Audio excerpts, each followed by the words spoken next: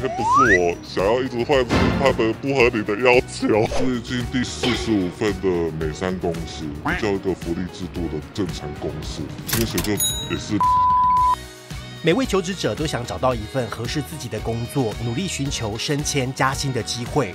不过，台中一名四十岁的阿雄，高中开始半工半读，退伍后二十二岁进入船产当作业员十一年之久。三十二岁那年想尝试不同领域工作，当中做过厨师、导游、旅行社业务、随护和保全，甚至还跑到工地当临时工。八年之间就换了四十四份工作。外界好奇什么原因让他狂换工作，而阿雄透。最近找到第四十五份工作，月薪超吓人。在三十二岁之前都是固定的啦，因为有房贷就固定。啊，后来想说都没有压力了，因为薪水太低了，然后在一个工作做十年太久了，想要尝试各行各业看看。那后来你去做了什么样的工作呢？餐饮业、中介、中国医药学院附着、厨师都都都有做过了，嗯。办旅游也有啦，就这样子。那什么日商、美商都会去做。那最近又换了什么？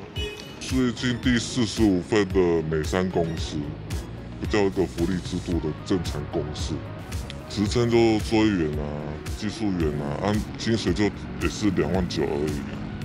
嗯，现在趋势都是这样。嗯，你不靠加班还是什么都没有，没办法。做那么久的工作，我真的没有领过。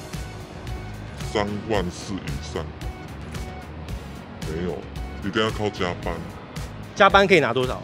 加班这也是三万五啊，就是工作嘛，为了生活嘛，没办法。那今年四十岁啦，如今换了第四十五份工作，心境上来说的话怎么样？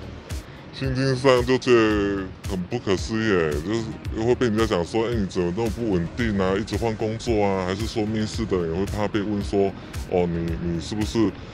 呃，会会很容易就离职还是怎么样？可是我觉得没有呢，反而他们觉得你很有经验呢，啊，想要邀请你来公司工作这样子。我以为我到四十岁应该很难找，结果不会。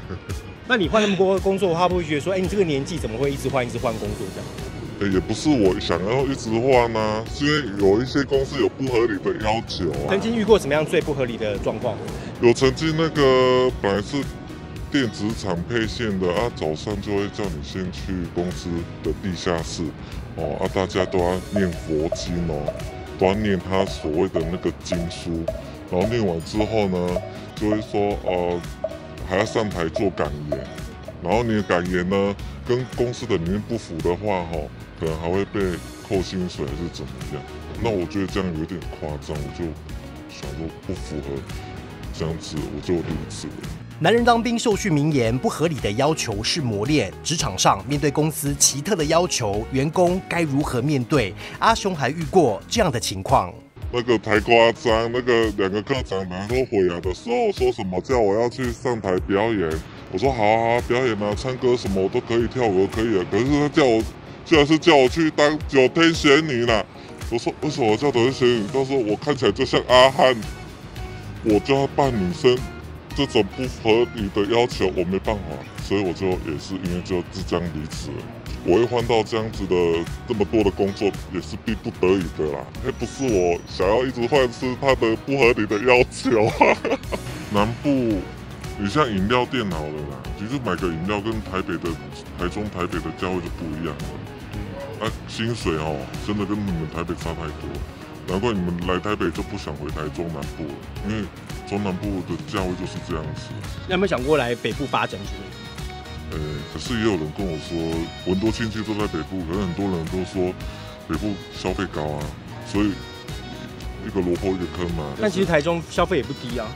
现在也现在去哪就不低，可是我们薪水永远都比台北低啊。那这样子生活品质来说的话。别人都会很怀疑，是很惊讶，说：“哇，你怎么可以活到现在啊？你说二十年前的薪资是这样子，二十年后薪资也是这样，你还可以活着，啊，居然还可以贷款买房子，不容易呢。”